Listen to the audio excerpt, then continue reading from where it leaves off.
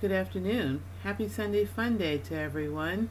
I hope everyone's having a blessed day. All honor and glory to our Lord and Savior Jesus Christ. Um, today I just wanted to come on and do a little little frohawk chit chat. Um, I had my hair um, it just came out of a two-strand twist and I'm old school so I roll it up on um, sponge rollers I still use sponge rollers yes and I love them because they're soft and I can sleep on them um, there's only one issue with sponge rollers is that you have to use them while your hair is moisturized or wet because the sponges can really really dry your hair out. But um, this has been set for like two days and I just took it out this morning and untwisted it because I knew that would take way too much time. Um, while I was trying to make this video but yeah um, so I took it out and I picked it out a little bit and um, now I'm going to try I've never done this on camera before but I'm going to try to put it in a frohawk and um, if you notice my watermark on my videos, that's one of the um, pictures of me with my frohawk. And I haven't done it in a while. And I think my hair has grown out a little bit more since the last time I did a frohawk. So, you know, be patient with me because I'm not sure if I'm going to be able to do this. But my hair is really nice and soft and um, very moisturized. So let's see um, the first thing I usually do is take my Goody brush and I try to just brush it up like this and I have large bobby pins and I also have the normal size bobby pins and so I start with the large ones and try to hook as much hair as I possibly can. Not too not too tight because you don't want it pulling your hair or snagging on your hair. And then we go over here to the other side and we do the same thing. Let's see how this is gonna work out. Uh, okay. Now from there we just style the rest of the hair with the pick and try not to comb out all your definition.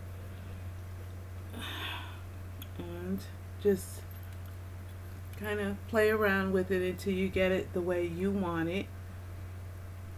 And my hair is much longer in the top than it is you know on the side so I definitely got to play around with it if you um, if you see where you need um, maybe a smaller bobby pin like in the top or in the bottom you can just take a small bobby pin and clip it in there clip it under the hair so it's not visible. And I feel like I needed one on both sides so hmm let's see.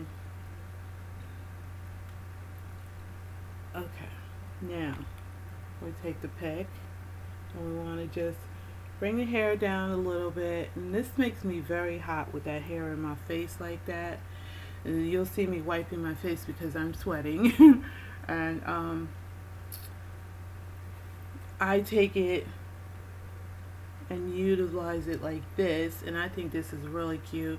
I want to wear it like this. I get um, a lot of compliments on it but if I was to wear this at work like I used to I get very hot you know so I would take the front and like put it in a pompadour like um, the video started and this would be my frohawk but I mean it's very cute when you pick it out without trying to, you know, lose your definition.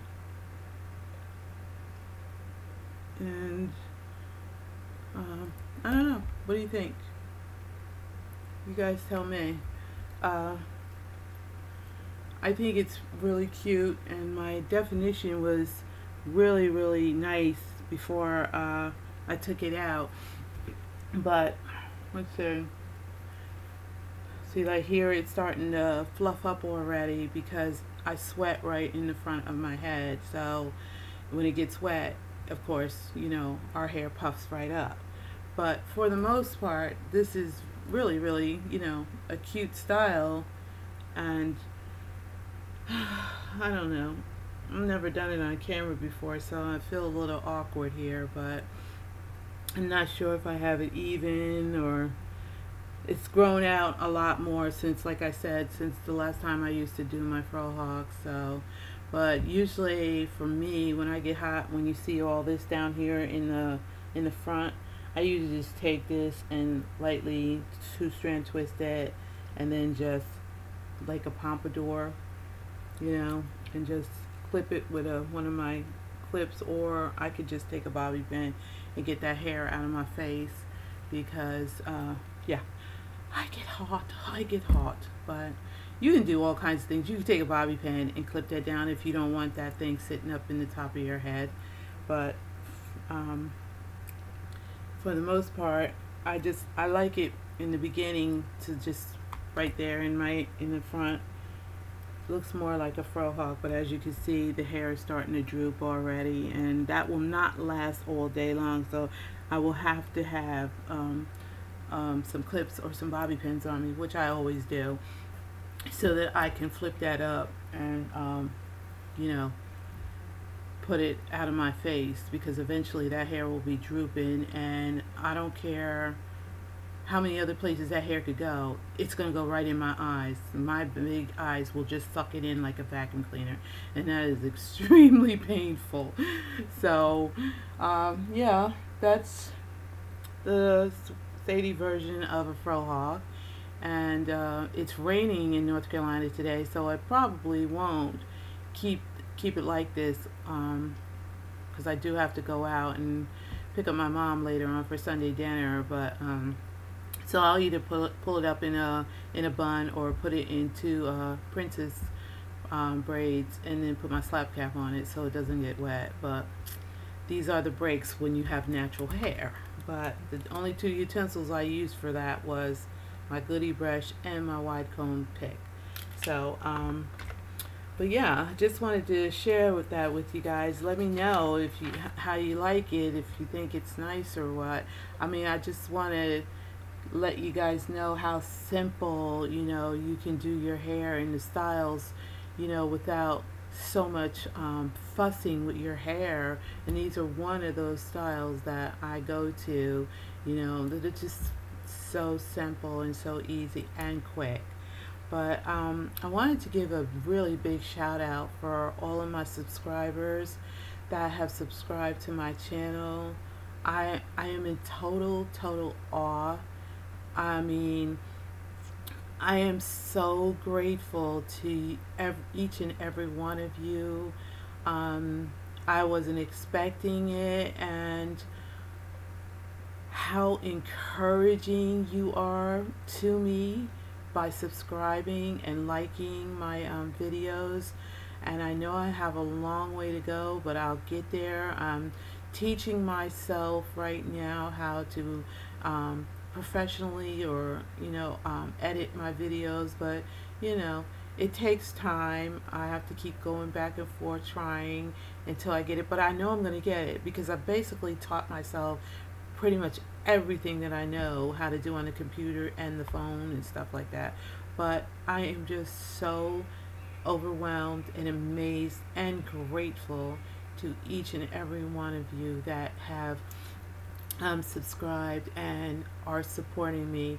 As I have mentioned before, I'm not here for to be monetized or anything like that, but wow, how truly, truly encouraging it is each and every time I look and see I've received another subscriber. And as you all subscribe to me, I truly will always su su subscribe, excuse me, subscribe back to you.